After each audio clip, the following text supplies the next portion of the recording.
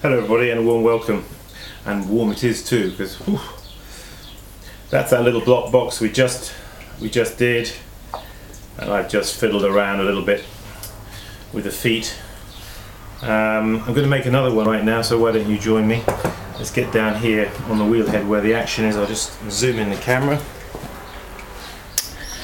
Down there, I know how you like to have a bird's eye view.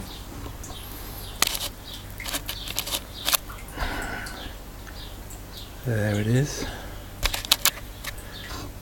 Uh, this is going to be a slightly different box, uh, different technique. I have to say I don't actually make a great deal of these, I mean I just do them occasionally. But I think I can do them enough to show you.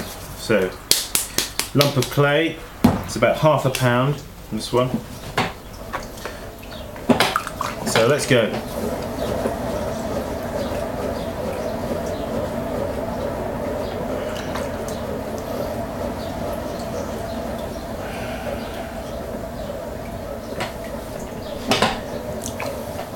Now this particular box, as I say, it's different than the than the other.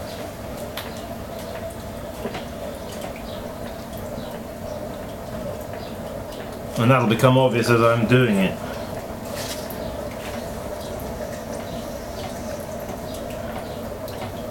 Hopefully so anyway.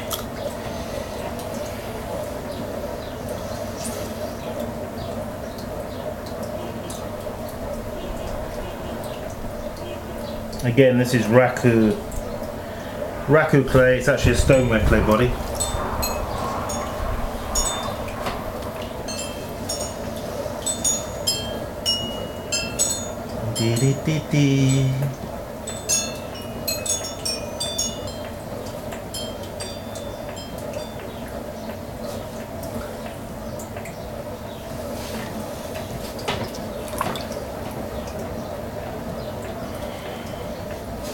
Great to collar in, you know. Uh, get that clay in, don't let it.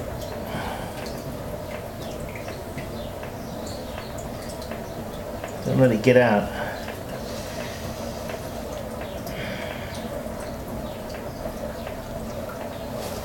Right, at this stage I'm now going to mop him out. I'm going to collar in now.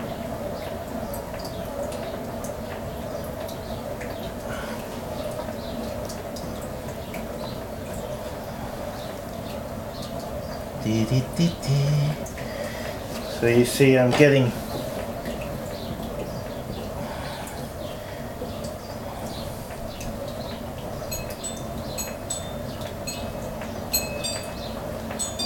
this shape. Now what I'm going to do now is I'm going to tell you what I'm going to do. I'm going to needle needle the fella here because just a little bit rough on the top. and we're going to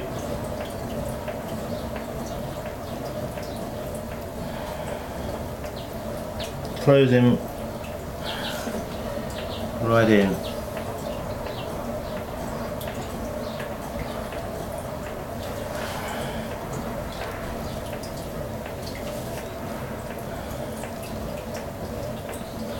That will become the top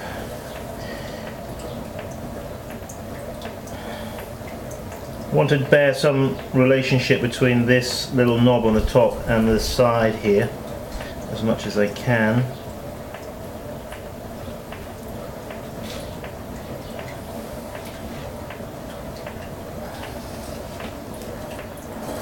Right, at this stage I'm going to get my throwing stick. I love my throwing stick. It's my best friend.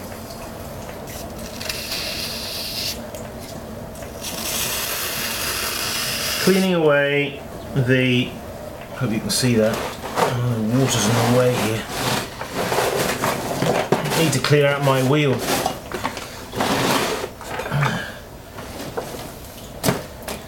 Never mind. Hopefully you can see that. Now using the side of my throwing stick I can refine the shape of the the, the profile, the outside.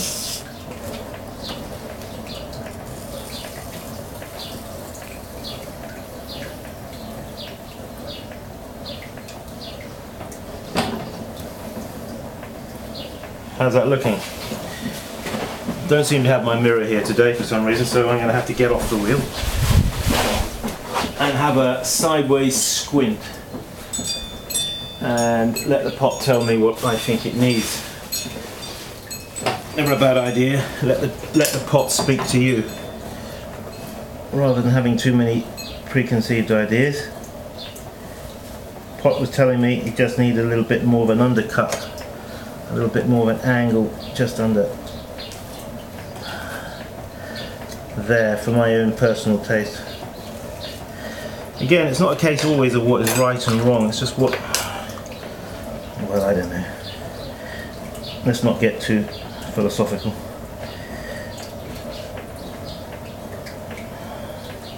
I think there are some rights and wrongs actually, but okay. So now, hmm, what I'm going to do is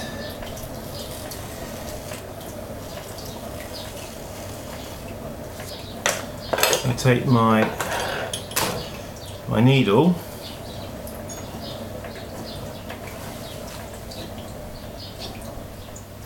now what I'm going to do is I'm going to make a cut in at this stage and I've got to get this at about the right angle. I can see if you can see the angle of the cut I'm going to make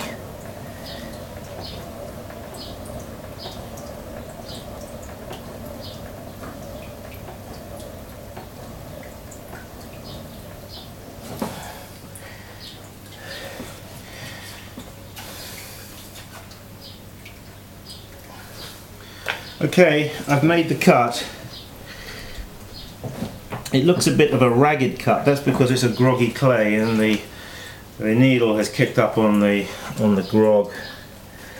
But I'll I'll sort that afterwards. But basically I've got a, a cut that's like that shape, if you know what I mean. Not a flat cut, but a, a cut going in like that. Which what I'm hoping is that is going to help locate the lid in its position. That will later on be uh, finished on the foot and tidied up here around the cut area and then that should be that should be it. Let's just wind the tripod down a touch just to so you can see a little bit more the sideways angle on it. Um,